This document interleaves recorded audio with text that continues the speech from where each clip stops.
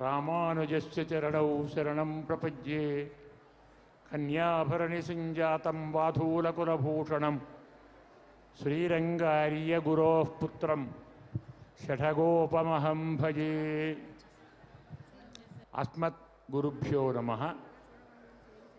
భగవత్ బంధువులరా రామానుజ సహస్రాబ్ది సమారోహం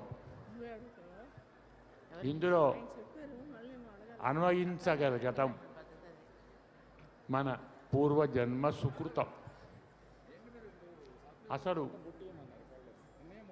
రామానుజుల వారికి మరి వెయ్యేళ్ళు జరిగాయి కాబట్టి మనం ఏదైనా ఒక చిరస్థాయిగా నిలిచే కార్యక్రమాన్ని చేయాలి. అని స్వామివారు ఒక పది పన్నెండేళ్ళ క్రితం సంకల్పించుకున్నారు. దాన్ని వెళ్ళవెళ్ళగా ఆలోచిస్తూ ఆలోచిస్తూ ఆలోచిస్తూ ఒక రూపాన్ని ఏర్పరిచారు. సంకల్పించిన దాన్ని ఈనాడు సార్థకం చేశారు. అంటే వారు సత్య సంకల్పులు అన్నమాట. మనకు రామాయణం ఒక మాట చెప్తుంది. రావణాసురుని వలన లక్ష్మణస్వామి మూర్ఛపోయి హనుమంతుని ద్వారా మళ్ళీ మేల్కొన్న తరువాత రామచంద్రుడు నీవు మేలుకోకుంటే నేను కూడా ప్రాణాలను విడవాలనుకున్నాను అని చెప్తాడు. అప్పుడు లక్ష్మణస్వామి ఒక మాట అంటాడు. మీలాంటి మహానుభావులు చేసిన ప్రతిజ్ఞను వదిలిపెట్టరు. చక్కని మాట. లక్షణం హి మహత్వస్య ప్రతిజ్ఞా పరిపాలనం. మహానుభావులు మహానుభావులు అంటే అర్థం. ప్రతిజ్ఞా పరిపాలన. తాను చేసిన ప్రతిజ్ఞను పాలించగలగటం మహత్వం. అలా మన స్వామివారు ప్రతిజ్ఞ తీసుకున్నారు. దాన్ని సఫలం చేశారు. శ్రీమన్నారాయణుడు వ్యాస రూపంలో అవతరించి విష్ణు సహస్రనామాన్ని మనకు అందించాడు. అంటే తన నామాలను తానే వివరించాడు. వ్యాసో నారాయణ సాక్షాత్ అని శాస్త్రం. వ్యాస భగవానుడే నారాయణుడు. నారాయణుడు తన నామాలను తానే వివరించాడు. అలాగే రామానుజుల వారు కూడా తన సమతామూర్తిని తానే స్థాపించుకున్నారు. లోకమంతా చెప్తుంది మన చిరంజీవి స్వామివారు అపర రామానుజుడు. అందువల్ల రామానుజుడే రామానుజుల విగ్రహాన్ని స్థాపించారు. ఇతరులకు అయ్యే పని కాదు. నభూతర్భవిష్యతి అన్నట్టు చేశారు. ఇక రామానుజులు లోకాన్ని శాస్త్రాన్ని రెంటిని ఉద్ధరించారు. సరే లోకంలో సమానత్వాన్ని భేద నిరాశాన్ని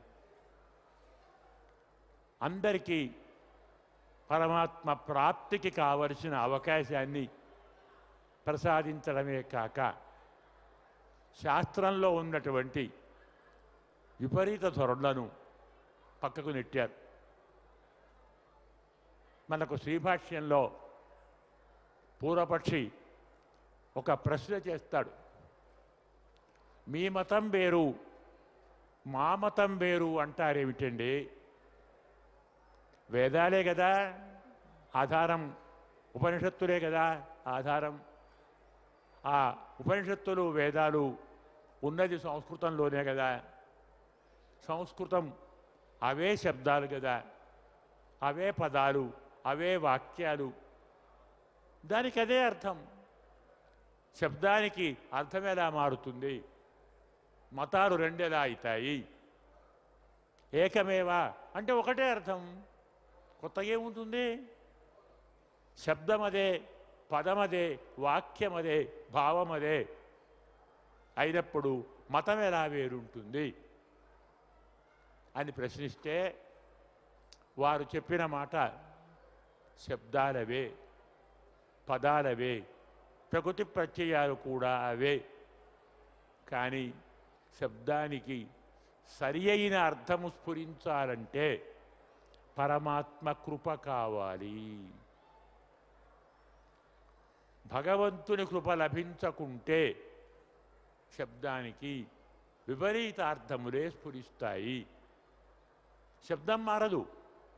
ప్రకృతి ప్రత్యయాలు మారవు. అర్థం పరమాకృప లేకుంటే మారుతుంది. అపార్థం చేసుకుంటారు. అంటే ఒక శబ్దానికి ఎలా అర్థం మారుతుందో నిరూపించారు.